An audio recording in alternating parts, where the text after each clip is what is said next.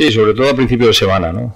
El jugador estaba un poco más cabizbajo por, la derrota, por cómo había sido, pero yo creo que a partir del miércoles ya hubo un cambio y la gente ya está con, con ánimo, con ganas de que llegue el partido del domingo, jugamos en casa y ahí nos estamos mostrando fuertes, por lo tanto con toda la confianza de, del mundo para hacerlo bien. Aparte, eh, cada vez es más complicado para mí porque veo que el nivel sube y eso es bueno. Cuando el nivel sube y el míster tiene complicado el 11 o incluso la convocatoria, siempre es bueno para el equipo.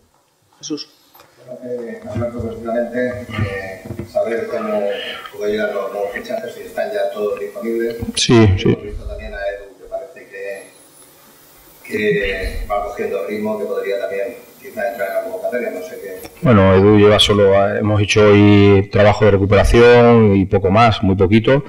Y Edu, pues es el primer día. Prácticamente yo creo que para la semana que viene ya estará disponible. En cuanto a los demás, salvo Pedro y los de larga duración, las lesiones de larga duración de Mandy y Matías están todos todos disponibles, menos Pellegrín, claro que está sancionado. Los demás podemos contar con todos. Con Túñez y Malonga esta semana les, les ha venido muy bien para meterse en la dinámica del grupo y para entrenar y coger mejores sensaciones y están disponibles. Jero. Sí, les veo que pueden estar, claro, por supuesto. Jero. Ahora sí. La semana pasada hablaba de partidos en casa. ¿Puede considerar que esta es la primera de las 10 finales? Sí, es un partido muy importante, eh, porque jugamos en casa, porque jugamos junto a un rival que, que está debajo de nosotros y de, y de ganarle pues sería ya una distancia buena más el gol a verar. Y porque en casa estamos cada vez mejor. Es decir, tenemos que intentar hacer un fortín del Martínez Valero o intentar que, que los rivales como están está sucediendo que todos los que pasan por aquí nos están respetando y, si estamos en la línea últimamente pues tendremos mucha posibilidad de ganar. Además creo que tenemos un, un buen calendario en casa, tenemos que intentar llegar bien, bien posicionados a ese momento que, que tenemos dos partidos seguidos, que hasta ahora pues hemos tenido la dificultad también el calendario de, de acumular dos partidos seguidos fuera de casa dos veces, que eso al final también te condiciona. Y ahora pues en breve tendremos dos partidos en casa, que eso es bueno también. Quería preguntar también por, la, por eso, por la importancia del partido. Es, es un encuentro ah, psicológico, la gente está muy ansiosa, los jugadores tienen mucho deseo de llegar, han, han hecho un llamamiento a la afición, le dan una gran trascendencia a tus hombres también. Sí, es que es un partido importante, ya hemos hablado nosotros y, y- y el partido requiere máxima atención, pero jugamos aquí en casa. Al final, lo que digo, en casa estamos bien, delante de nuestro público que espero que nos ayude y, y acuda al estadio, pues hemos dado muy buenas sensaciones y, y esperemos volver a dar. ¿no? Aquí los rivales que vienen al final se encuentran en un campo grande, un, un equipo como el Elche que trata de, de dominar y de generar eh, muchas posibilidades de gol y, y es difícil defendernos, porque el campo es grande y hay que cerrar muchos espacios para, para defendernos bien. Hasta ahora siempre hemos generado ocasiones y esperemos que- tener un poquito más acierto. Sí. Ha sido la el principal tema que habéis intentado. Sí, es que al final en la charla muchas veces eh, suceden las mismas cosas. Eh, llevamos ya repitiendo cuatro, cinco, seis, siete veces las mismas cosas y ya es cuestión de actuar, es cuestión de, estar más concentrado, de vivir más el partido. Al final son situaciones tan puntuales que yo creo que se pueden corregir y, y debemos eh, vivir el partido los 90 minutos, vivir todas las situaciones que suceden y que puedan suceder, anticipar a lo que pueda suceder. ¿no? Al final, pues tenemos esos momentos que, que no nos permite estar metidos al 100%, ¿no? Y eso es lo que tenemos que corregir, estar más metidos, vivirlo, vivirlo desde el minuto uno. ¿Te planteas volver al sistema más eh, tradicional que hemos visto? Sí, me, me planteo volver a lo que hemos hecho siempre, claro que sí, vamos a jugar con cuatro atrás. Vamos a jugar porque es lo que hacemos siempre, lo de jugar con cinco ha sido momento puntual y, por necesidad. Al final hemos tenido bajas importantes de, los laterales, de los jugadores de banda y estamos obligados a cambiar un poco la forma de, jugar. No fue bien el día del Girona, el día del, del Tenerife tampoco no fue tan mal a pesar de la derrota, pero yo creo que como mejor eh, desarrollamos nuestro fútbol y como más vamos a favor de nuestra naturaleza por los jugadores que tenemos es jugando con cuatro atrás. Sí. ¿Qué diferencias más significativas suele tener un cambio desde la llegada de Francisco? Bueno, yo creo que es un equipo que trata de, de estar un poquito más altos para defender, con, con el entrenador anterior, con Salmerón, defendíamos un poco más atrás y esperaban mucho eh, el error del rival para, para hacerles daño. Creo que ahora trata de defender 15 metros más adelante y luego pues tiene jugadores rápidos y, y dinámicos arriba. ¿no? Yo creo que ellos van a vivir un poco de- del contragolpe, de dejarnos un poco que nosotros llevemos el, control del juego y, ellos con ataques rápidos y buscando verticalidad pues intentarán hacernos daño.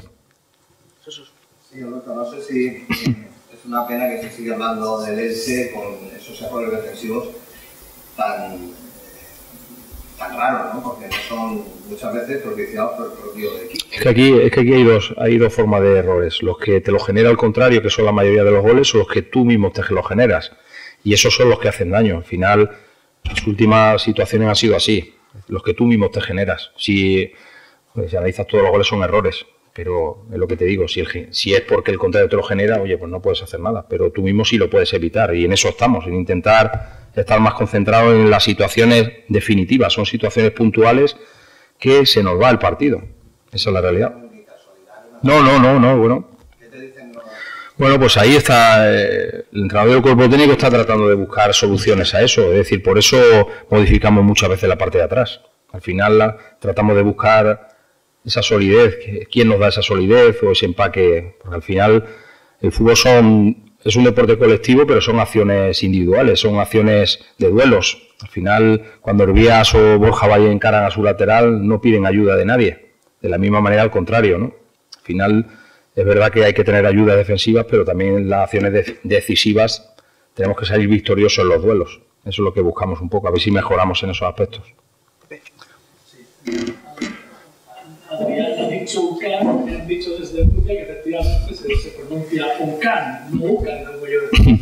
Eh, es que en la liga, con 18 partidos por delante, todo puede pasar, ¿no? Quiero decir, que en un segunda ningún equipo tiene por qué tirar la toalla, aunque todos persiguen el primer objetivo, que es el de los 50. Es que, sí, pero es que todo, hay muchos equipos que piensan igual. Es que está siendo muy complicado. Estamos todos muy juntos en puntos y sabemos que una, una racha muy negativa te puede hacer meter abajo. De la misma manera que una racha positiva te mete arriba. Por lo tanto, yo creo que hay que tener calma e ir sumando partido a partido. Y cuando llegue el final, pues intentar estar bien colocado y llegar en las mejores condiciones posibles. De forma, de jugadores sin lesiones, con las ideas más claras, con fútbol. Porque al final yo creo que el equipo que tiene fútbol, al final consigue meterse arriba, porque no es lo mismo ir al partido a ver qué pasa que, que ir a ganar el partido. Si tú tienes que ir a ganar el partido y tienes fútbol, al final es más fácil que ganes, ¿no? Y ese es nuestro objetivo, ir crece- crecer y, y bueno, y tenemos 10 partidos aquí, que parece que no, pero eso es, es importante jugar 10 partidos en casa y no al contrario, y no jugarlo fuera. Julián. Hola Julián. Sí, sí, sin lugar a dudas. Perfecto, y eso es lo que he solicitado siempre. Y voy a tener que dejar a gente fuera que, pues que lo está haciendo bien. Y, a gente que no juegue en el, en el 11 que lo está haciendo bien. ¿Y por qué? Pues porque al final el entrenador tiene que tomar decisiones, tiene que pensar cuál es el mejor 11 para este partido y, qué recambios nos pueden hacer daño. No es una cuestión si hay jugadores que, que no jueguen, no es una cuestión de castigo ni nada, es una cuestión de momento, ¿no? Y al final están entrenando bien, todos están en buena disposición y puedes contar con cualquiera. Es decir, ejemplo, en medio campo los cuatro pueden jugar en cualquier momento. Los tira al aire, voy a poner este y este. Pueden jugar. Es la realidad. Pero al final tenemos pequeñas cosas hace que juegue uno o juegue otro. Bueno, lo intentaremos, lo intentaremos. Intentaremos ganar en casa y la semana que viene ir a Lugo y afrontarlo también con la gana de, de ganar, pero es lo que hablamos. Al final es ir sumando, estar bien colocado, no distanciarnos mucho eh, de arriba, intentar distanciarnos de abajo y poco a poco, pues yo creo que llegará ese momento que estemos todos muy bien, que Pedro esté bien. Y Pedro, no hay que olvidar que lleva dos meses ya fuera del equipo, es una baja importante también para nosotros. Edu tampoco disponemos de él, que es un jugador específico en el balón parado, por ejemplo, que también nos da muchas cosas. Bueno, cuando estemos todos, yo creo que creceremos y estaremos cerca, seguro. Dos últimas, Lorenzo, y para terminar, Pepe. Lorenzo. ¿Qué posibilidades hay de que entre inicial, viendo que lleva dos partidos consecutivos. Pues tiene, tiene, tiene posibilidades de jugar. está en disposición, eh, viene preparado. Es verdad que no compite desde principio de enero o último de, de, diciembre, pero es un jugador ya experimentado y está preparado para jugar. Mañana decidiremos quién son los que los que juegan, pero posibilidades como, como el que más. Yo tenía pregunta. Eh, ¿viste? Me pareció admirable que el otro día no te excusaras en la actuación de Pérez Montero. Es un árbitro que no se le ha dado mala leche, pero el otro día estuvo muy desafortunado, no expulsa a Camine, que le Sí. expulsaron la entrada era exactamente igual que la de Pellegrín, y hay una mano clamorosa de en el primer gol, pero no te escuché Yo- en absoluto de eso. Mira, yo si, si me veis, yo normalmente no, me- no me quejo del árbitro y, y siempre trato cuando acaba el partido, trato de saludarles porque creo que hacen su trabajo, se equivocan o no se equivocan, son humanos como todos.